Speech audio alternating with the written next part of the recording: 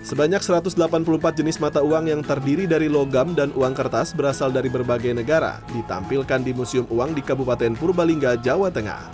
Terdapat uang dari bahan kertas, besi, logam, perak, hingga emas dari 184 negara di dunia.